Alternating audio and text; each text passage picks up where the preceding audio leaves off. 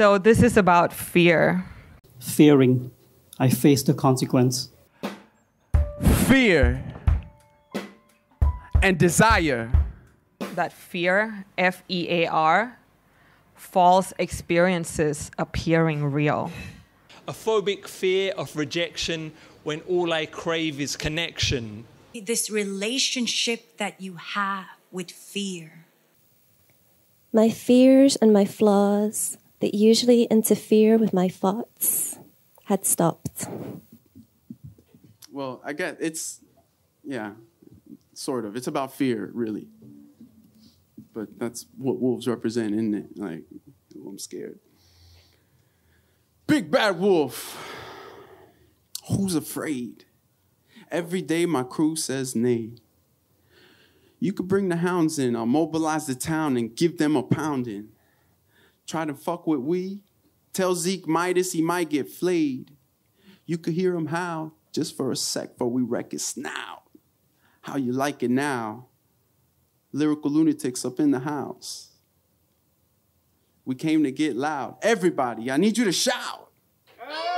Yo, I need you louder. Everybody, I need you howling. Like you got a pelt. Everybody, make your presence felt. Who's afraid of the big bad wolf? Who's afraid of the big bad wolf? Not I. I dare Fenrir to wander over here. Hi. So I'm just back from Scotland and I wrote a poem about my experience there. I think it shows the lengths I will go for poetry. Your laughter, it's the morning after.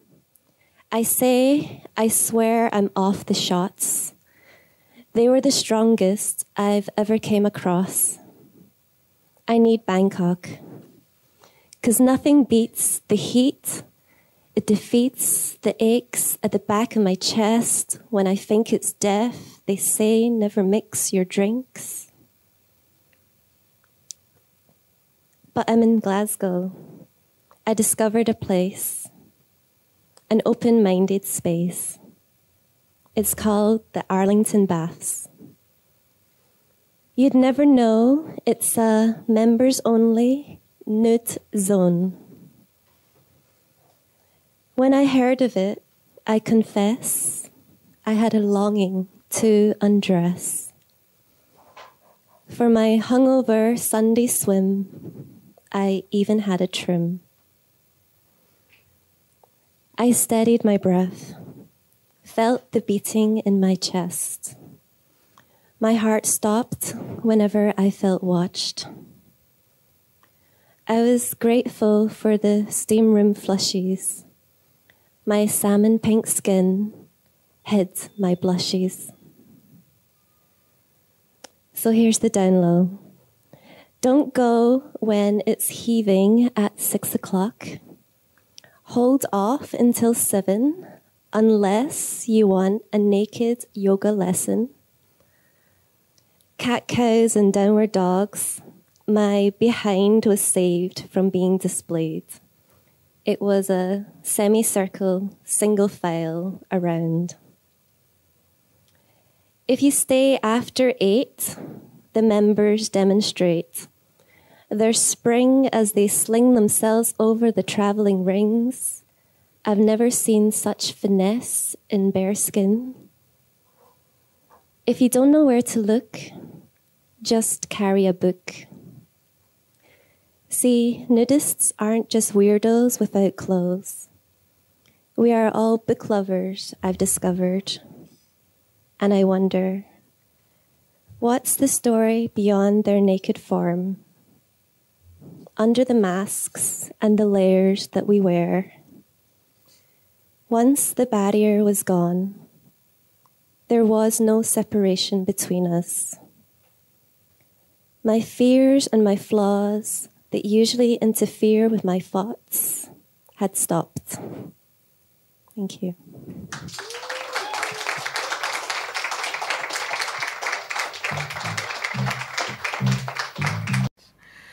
So this is about fear. And um, this has been coming to me a lot lately of this life that we live in fear, whatever that means. And it hit me really hard that fear, F E A R, false experiences appearing real. But how real are they? So, this is a poem about that. Fear. Fear. This fear that somehow always seems so near. A neighbor I never knew I had. Who comes around the corner leaving boxes. A gift, they say it is. Take it and give it to everyone you see, is what they always say to me. Stop, stop, I never asked for this. This is not how I want to create my reality. And today morning, as I got ready to start my day, it made its way to my head, reminding me of all the yesterdays I tried so hard to forget. Stop, stop, I never asked for this. This is not the life I deserve to get. Until a voice came in my head that said, Silly, you're not getting the message. It's not here to scare you, but rather to be felt. And just to remind you that it cannot be dealt with resistance, my child. That this too is a gift from your neighbor I have been sending your way. And maybe it's time for you to listen to what it has to say. Invite them over for dinner. Sit them down on your table. Make them some pancakes. Maybe pour down some maple. And look them in the eye. Come on, baby girl. Don't be shy. It's time to listen to what this fear has to say. It's time to listen to this fear for what it has to say. Thank you. Night bus home to Hounslow. The door swings open with a hiss and she walks in, an oasis in a desert of drunk revelers, late night stragglers and clubbers staring blankly at their phones. The bus pulls away and I see us talking in my imagination, but my stomach clenches at the thought of us talking in my imagination. The voice of doubt whispers in my ear What if she doesn't want to speak to you? What if she has a boyfriend too? David, you're just not cool. How many times have I hesitated and debated with hindsight telling me what I should have done? A phobic fear of rejection when all I crave is connection. Too scared to open my heart to any kind of vulnerability, aloof reservedness is my social anxiety. No more regrets of what may be, this will be our romantic comedy. The story of how we met, set on a night bus home to Hounslow. I walk over slowly and sit beside her, my heart pounding intensely, immensely stressed by the magnitude of this situation. Excuse me, I saw you get on. You're cute and I wanted to say hello. I'm David. What's your name? Emily. Hi, Emily.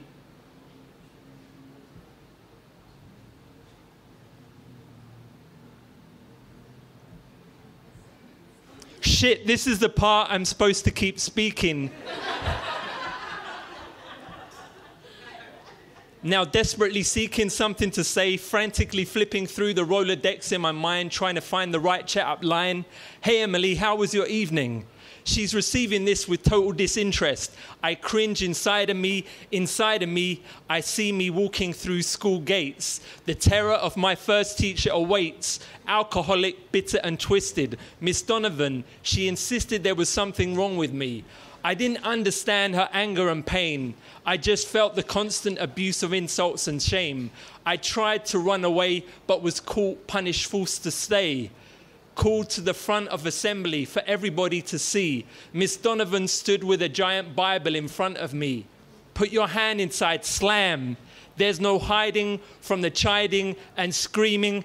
David, what is wrong with you? David, what is wrong with you? David, what is wrong with you? A speed Bump, bump, bump brings me back to the moment and atonement for the sins of the past. I'm feeling the pull to escape the situation and attempt to resuscitate this conversation with witty anecdotes of karaoke, singing Bohemian Rhapsody. But there is no Rhapsody, just slow golf claps for me. What happened to our romantic comedy? This ain't the movie I paid to see sitting in silence most uncomfortably, the waiting excruciating. Driver, please hurry up the bus before I internally combust. Emily is fixed on her phone. I feel so alone on this night bus home, and mercifully, my stop arrives. Hey, Emily, nice to meet you. Enjoy your evening. Stepping off with huge relief to release the grief of so many years holding back I laugh. That was hard graph. I'm alive. I survived. She didn't evaporate. Mate, it was a car crash of a chat up for the whole bus to see, sat silently judging me. And yet I'm still here. It's okay to feel fear. It's going to be awkward to learn how to talk good. Going through the feeling is the only road towards healing and revealing, David, there is nothing wrong with you.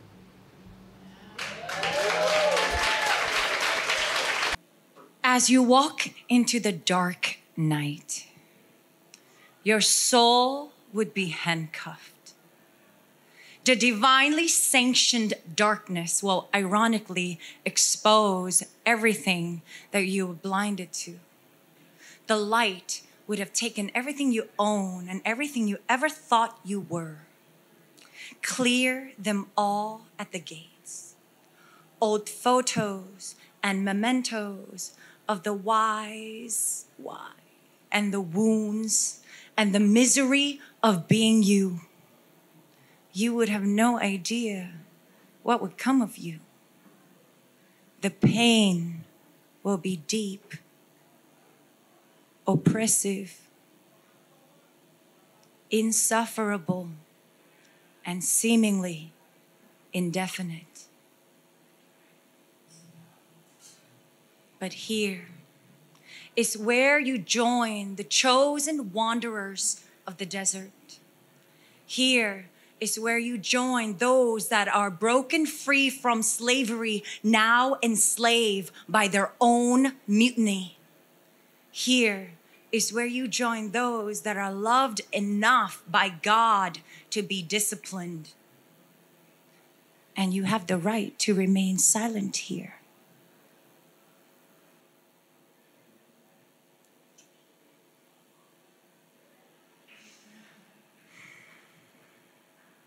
As you walk into your own insane asylum.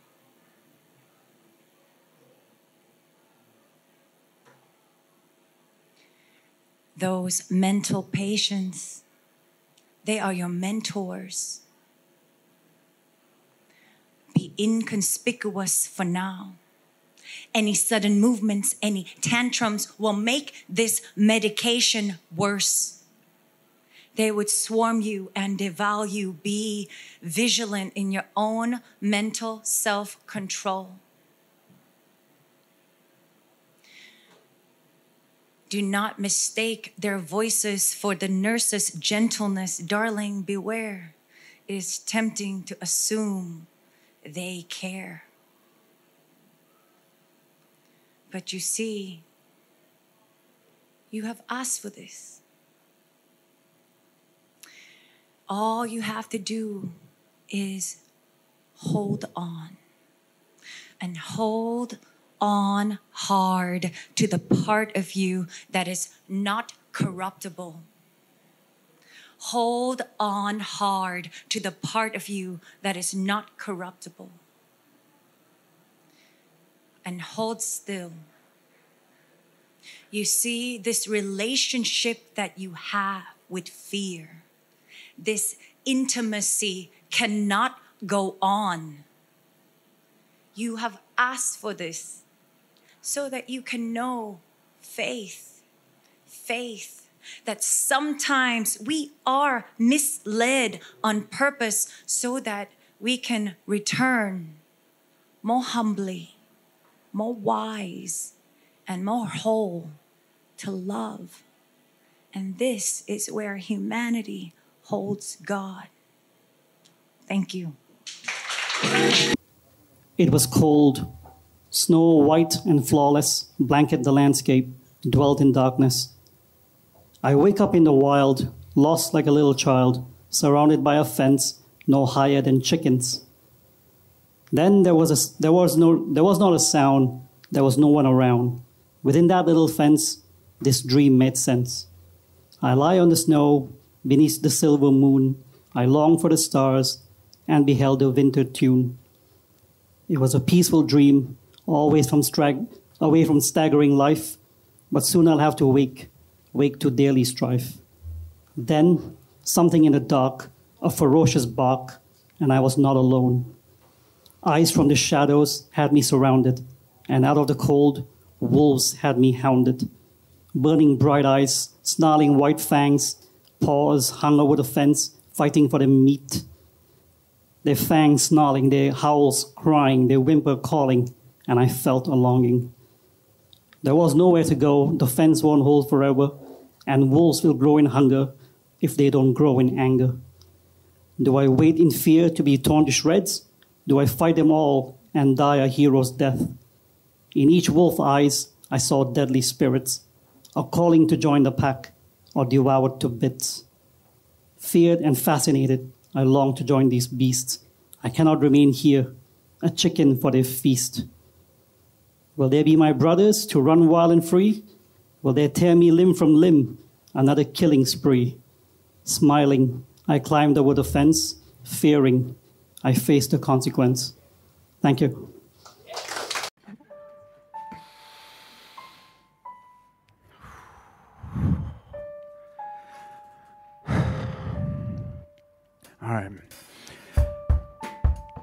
There's three monsters in that bedroom. But you only ever seen two. The one under the bed, and the one in the attic behind the ceiling light. They both show different faces, but yo, they hide in kindred darkness. Fear and desire. They both draw strength from the tenured lack of light recessing in knowledge's recesses. And that mattress ain't shit but the carpet stitched of springs and cotton that fear done gotten swept under. And they'll never let you forget that it's down there. So you skip town there. You found air. You fly fast, forward, far. You dash toward the stars till your barge ends up stuck in a whole bunch of nothing. Desire's light had you fronting. It treated and tricked you to think you could keep fear away, so you steer away, flying blind with stars in your eyes to a darkness you think you know until you hit the summit. And shit, you plummet. Cause that thing you covet didn't stop fear from coming in and rummaging in parts of you that you can't stomach. See, they convinced you that your pipes is weak, it's a leak, and they got just what you need to fix the plumbing. See, these brothers, they're mad cunning. They swing flaming sword back and forth for like forever and a fortnight, like a snitchless game of Quidditch. So your brain is skittish, lenses lidded, fitted like a new era. While this pair of bouncers, they bounce and they scramble up your ego infinito. They whip it to work. Wow. Woo! Who'd have thought it would work? How? They keep guarding that garden. The same one you were born and begotten. You must have forgotten. Trick. Into walking. Ego. Coughing. Clamoring to and fro. Zen. Let that shit go. No one else uh, but self. Uh, dance between the darkness. Perfectly timed to that rhythm. Rattling threshold. The third monster waits behind.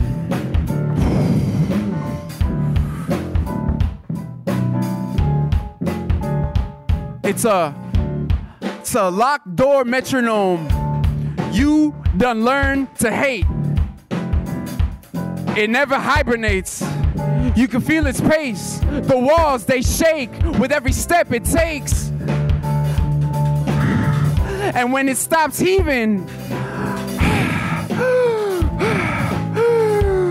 you can hear it breathing. A faint screaming sinks in. Your judgment's blinking, thinking what to do. Open, turn the knob. But then you start thinking of its repugnance and you quit your reach and you keep trudging. A bludgeon, scuffed soul, sold by that same sucker. Too disgusted to stop and wonder, like, yo, what kind of spell am I under? Blundering, bending backward to keep fronting and acting like half of you ain't sure which side of the lock is a trap.